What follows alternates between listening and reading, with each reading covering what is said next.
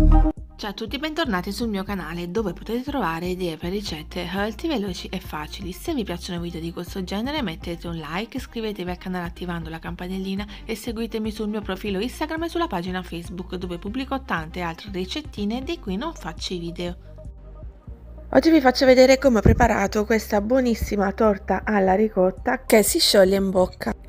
Io l'ho decorata con la crema Lotus e anche biscotti della Lotus, ma essendo una torta dal gusto molto neutro, va benissimo con qualsiasi tipo di crema al cioccolato di vario genere oppure anche va benissimo con la frutta, qualsiasi gusto vi possa piacere. Inizio sbattendo 4 uova in una ciotola e le monto con lo sbattitore. Aggiungo l'eritritolo in polvere e continuo a montare. In descrizione vi lascio il link dove acquisto l'eritritolo, questo a velo.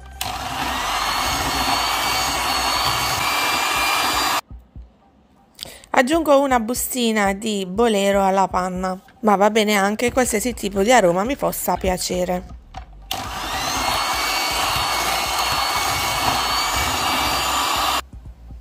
Aggiungo man mano la farina di riso con eh, il setaccio in modo tale da togliere tutti i grumi.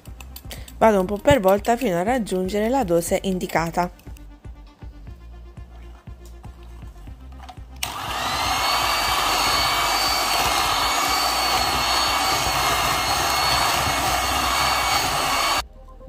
A questo punto aggiungo la farina di bambù, voi se non ce l'avete potete aggiungere l'amido in ogni modo vi lascio in descrizione il link dove acquisto la farina di bambù.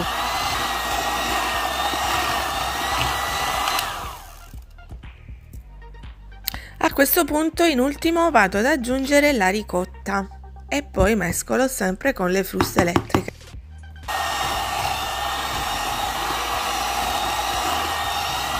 Ne aggiungo sempre un po' per volta e poi amalgamo bene.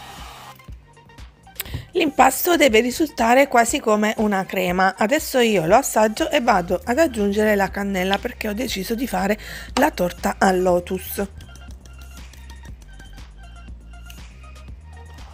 Rivesto lo stampo per torta, questo è molto alto, eh, con la carta forno bagnata.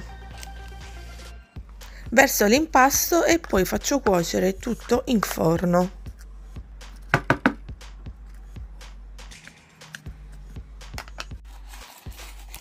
Ecco il risultato, ora la vado a decorare.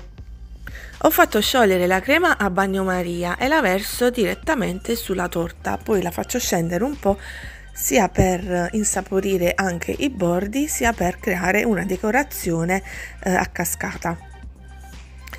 Vado a sbriciolare in superficie un biscottino della Lotus, in questo modo avremo anche quel tocco crunchy e poi è bello anche da vedere.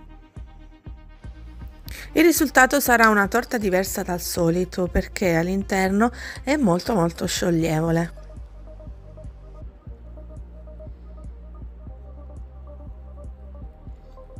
Io spero che questo video e questa ricetta vi sia piaciuta, se è così lasciate un like, iscrivetevi al canale attivando la campanellina e seguitemi sul mio profilo Instagram e sulla pagina Facebook dove pubblico tante altre ricettine di cui non faccio i video. Detto ciò vi saluto e vi aspetto al mio prossimo video. Ciao ciao!